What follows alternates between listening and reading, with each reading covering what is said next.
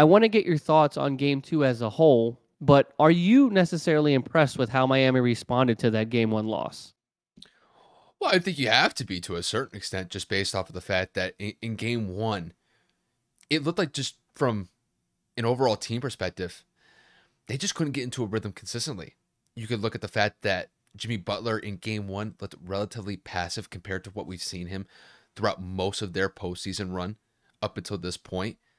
In game one, Miami only had two free throw attempts as a team, which, Kev, it doesn't take a rocket scientist to figure this out. If you're only getting two free throw attempts for the entire game, I'm not talking about a quarter, I'm talking about the entire game. That just tells me from an aggression standpoint that they were far too passive as a team. You got to be able to attack the rim. You have to make some sort of effort to get into the paint. They simply didn't do that in game one.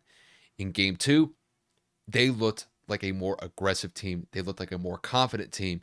And to me, just across the board, Miami looked to be in a much more better position from a competitive perspective than they did in game one. In game one, Kev, the, the stats really indicated this. Their three point shooters like Max Strus, Duncan Robinson, Caleb Martin, they all struggled in game one. Now, in game two, they all stepped up. Max Strus got off to a relatively good start.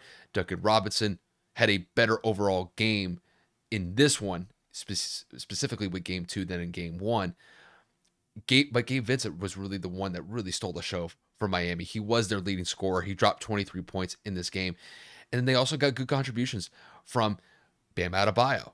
They also got good contributions really from the role players that failed to step up in game one. And to me, that was one of the biggest differences in this game specifically compared to game one.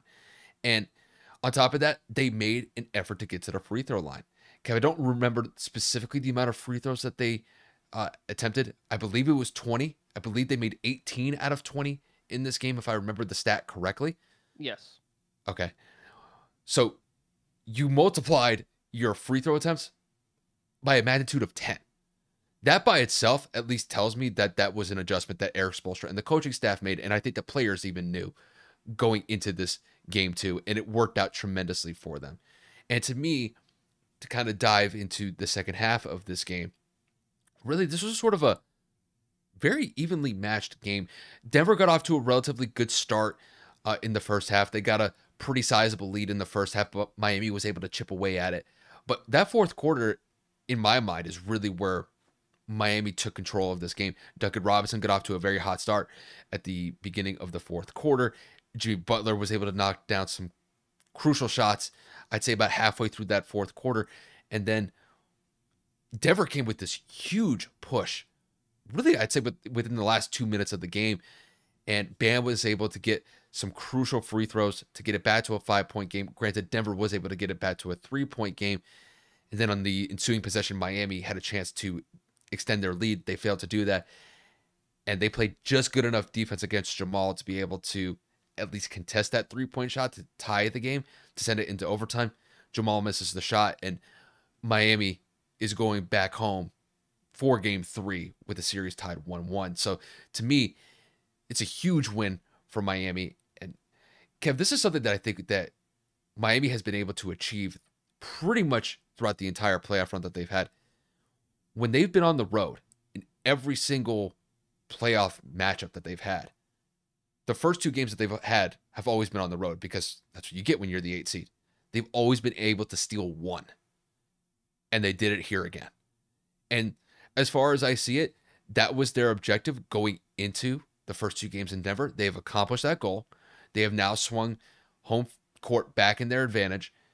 And with games three and four back in Miami, they have a chance to potentially go up 3 1 in the series. Now, granted, I do think that Denver's still going to be a competitive team and they have a very good chance to steal one in Miami as well. But just from a Miami perspective, they did exactly what they needed to do. Overall, I thought this was just a better cohesive unit effort from what we saw in game one. In game one, they could not hit a three point shot to save their life, did not attack the paint or the rim in really any sizable fashion. They completely flipped the script in this one. All the role players really stepped up. Jimmy had a good game. Bam had a good game as well. especially with those late game free throws. And they played good enough defense to be able to win this game when it mattered the most by just contesting that Jamal Murray three when it mattered the most. But I will say the one adjustment that they're probably going to have to make is not allowing Jokic to pop off. Jokic dropped over 40 points in this game. So I think going into game three, Spoelstra is going to try to slow him down in any sort of capacity just because Jokic drops 40 points, 41 points. You got to play somewhat better defense against him. Granted, Jokic is probably the best player in the NBA right now. That, that goes without saying. And it's very difficult to be able to maintain something like that to under 30 points as it is. But nonetheless, I think Miami can hold their head high knowing that the series is going back to Miami 1 1 apiece. And really, this finals is in their hands with home court for the next two games. I'll just leave it at that. The game went better than expected. I know that I picked Miami to win, and I know that Denver made a game of it later in the in, in that fourth quarter, but this is why I will die on this hill and say that hard work will always beat talent. And I'm not saying that Denver doesn't work hard, but for those that said that this was going to be a sweep, for those that said Miami had no chance, granted, Denver can end up going down and winning the next three in a row, but both of these games have been competitive. The Miami Heat may not have a two time MVP, one of the best point guards in the conference, you know, a, a very, a very skilled and deep uh, excuse me, a very skilled and deep team like the Denver Nuggets do, but they have the heart for it. They have the vocal leader in Jimmy Butler. They have the Hall of Fame head coach in Erik Spoelstra, or should I say future Hall of Fame. And that does a lot. They made the adjustments that Kyle and I both said they needed to make. They started Kevin Love. They went bigger to start the game, so those early runs with Aaron Gordon did not happen. And Miami jumped out to a quick start with Max Strus getting 12 points in the first quarter. Huge difference from zero. Massive difference. You know, Denver then goes on a run. Shout out to my boy AJ Morales. He was on this podcast a couple years ago, and you know, obviously, you know, constantly in in my messages talking to me about things we can improve and discuss, and what me and Kyle uh, should do or have done. So again, shout out to AJ because he said this since the day I met him. Basketball is a game of runs, and that was the definition of this game. Because, like I said, Miami came out and was firing on all cylinders. Denver responded. Then Miami goes on another small run. Then Denver blows it open by double digits. Miami claws into it within seven or eight points to go into half.